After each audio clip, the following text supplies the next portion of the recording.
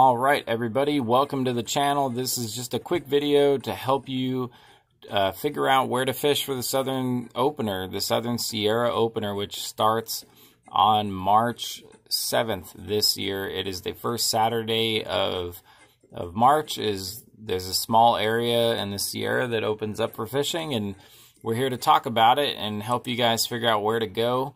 So here you can see uh, the description on the California Department of Fish and Game website. Go ahead and pause there if you want to read about it. Basically just gives the boundaries and, and when it starts and how many fish you can keep. Um, where is this area? You know, it can be a little bit confusing when you read it. Basically, it's Independence and Independence Creek on the north side. So this is Independence Creek here. Um, this is the northern boundary. And then the 395 is the eastern boundary. So if we zoom out a little bit, and then the southern boundary is the southern boundary of Inyo County. So just south basically of Owens Dry Lake. But from Independence down to about right in here, this whole area and this like oblong shape here is um, open. You can fish all of the waters in here. Uh, what does that entail? Well, let's talk about it. You got Independence Creek. If we go down, you got Shepherd Creek. Will be open. They'll plant that. Uh, George's Creek. Yeah, George Creek right there. They'll plant that.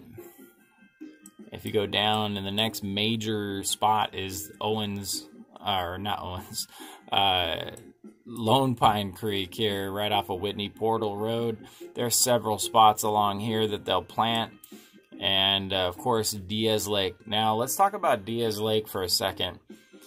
A lot of people sleep on this lake, and I'm telling you guys right now that this lake, I'm going to go out on a limb here and say it, that this lake has probably received more trout plants than 90% of the Sierra um, year in, year out every year. So this lake has been getting fish every day, um, every day, every week.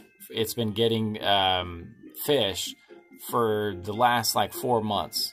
I mean, they plant it every week. They plant this lake, and you can go on to the fishing game um, website and see the trout plants, and you'll see what I'm talking about.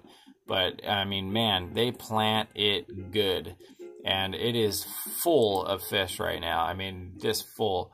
They're going to probably plant it again um, once this next week, and then they'll plant it again the week after the Derby or the week after the opener because they have the Blake Jones Derby.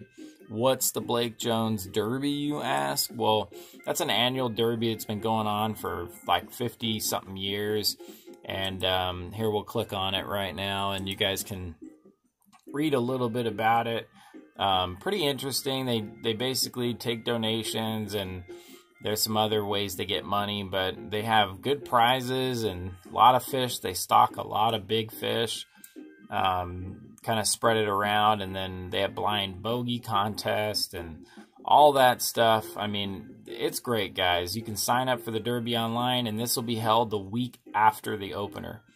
Um, so check that out. It's worth going up there and doing once or twice in your lifetime, definitely. Um, so to wrap it up, Independence Creek down to Cottonwood Creek is basically the borderline. So right here, just south of um, uh, Owens Lake, you can just look up for Cottonwood Creek kilns, and then right near there, you'll see some um, stuff. So this Ash Creek, there's no fish in there, so don't even bother. But right there, where it says Cottonwood, um, this creek will have fish up in this canyon. Now, be careful up here in the early spring. There's a lot of snow and ice. They've had a lot of people get in trouble up there in the early season. So don't be that guy and get get in trouble and get lost or whatever up there. Uh, so Diaz Lake and then all the creeks so that's it. That's where it's at. Independence Creek to Cottonwood Creek, and it's all this area here. Nothing on this east side of 395. Do not fish over here except for the Owens River. You can fish the Owens River, and um, there's some several spots um, along here that you can fish. If you look at the um, basically all the roads that go east off of 395 toward the Owens are all good spots. Um, but those are year round, not affected by the opener. It's mainly just the three or four creeks on this side and uh, Independence Creek on the north. So if you have any questions, I just want to keep this kind of quick. Um, post up. I'm more than happy to help you guys figure it out. If you have any other little uh, questions about maybe fishing up there, camping up there, let me know. But this is just about the fishing side of it. March 7th, 2020. Every year it could be different, guys. Make sure you check the regulations. Don't just assume it's it's open or it's the same every year because it, it could change. And uh, in fact, in the next few years, it probably will change. So that's it. March 7th, Southern Sierra Opener. It's worth checking out. If you have any questions, don't forget to hit that like and subscribe so you can stay tuned for more stuff like this and fishing reports and other awesome adventures on the channel. We're looking forward to seeing you guys out there on the water. It's been great meeting y'all. Hopefully we'll meet more of you guys out there, and uh, it's good to see you guys uh, using the channel for what it's for, which is to get out there and do some fishing, do some exploring, hiking, camping. Just get outside, guys. All right, we'll see you on the next one.